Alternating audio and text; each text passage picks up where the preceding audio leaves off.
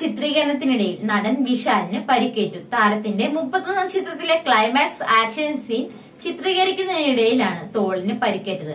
മലയാളി താരം ബാബുരാജ് ആണ് ചിത്രത്തിൽ വില്ലൻ കഥാപാത്രത്തെ അവതരിപ്പിക്കുന്നത്. വിശാലിനെ ബാബുരാജ് എടുത്തെറിയുന്ന സീക്വൻസ് ചിത്രീകരിക്കുമ്പോഴായിരുന്നു അപകടം. റോപ്പിൽ കെട്ടി ഉയർന്ന വിശാലിന്റെ തോൾ ഭിത്തിയിൽ വന്ന് ഇടിക്കുകയായിരുന്നു. സെറ്റിൽ ഫിസിയോതെറാപ്പിസ്റ്റ് ഉണ്ടായിരുന്നതിനാൽ ഉടൻ തന്നെ വൈദ്യസഹായം നൽകി. രണ്ട് ദിവസത്തെ വിശ്രമത്തിനു ശേഷം പൂർണസ്ഥിതിയിലാകുമെന്നാണ് ഡോക്ടർ അറിയിച്ചിട്ടുള്ളത്. അതിനിടയിൽ വിശാലിനെ പരിക്കേൽക്കുന്ന ദൃശ്യങ്ങൾ സോഷ്യൽ മീഡിയയിൽ വൈറലാവുകയാണ്.